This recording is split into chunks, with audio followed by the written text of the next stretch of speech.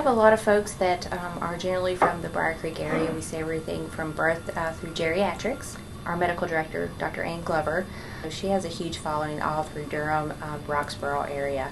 Um, but we also have folks who drive from Virginia uh, to see some of our providers here. We're averaging about 287 new patients per month.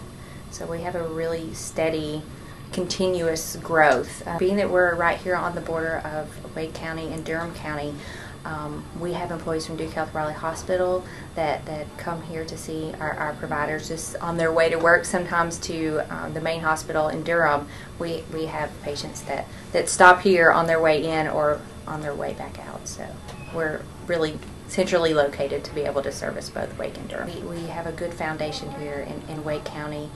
Um, our customer service is, is really well, and we, we pride ourselves on providing quality care to our patients um, as well as our Duke employees. We really can do so so much for our female patients and, and it's nice to have that continuity. We can really take care of women throughout their lives from when they initiate gynecologic care to when they have their children and on through menopause it's wonderful because we get to know our patients really, really well.